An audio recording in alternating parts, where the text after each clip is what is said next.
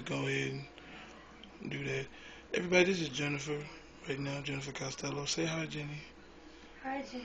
Hi, yeah. This is uh, right now. She's kind of going through one of those things, and One of those uh, things where Kevin says, I need you to do something for me, and then it's impossible because the picture he wants me to try to find doesn't exist. I never took a picture of him at the flight of the Phoenix. see that shit. It's not. First of all, it's not the flight of the Phoenix. It's called the Phoenix. Whatever. And I had that red guitar. You need to find it, or I'm gonna get mad and start whooping some ass. You I want that? you'll find it, but I Do can't you- because you'll read through my phone. Fuck, man. You know what? I'll put this motherfucker down and beat your ass right now.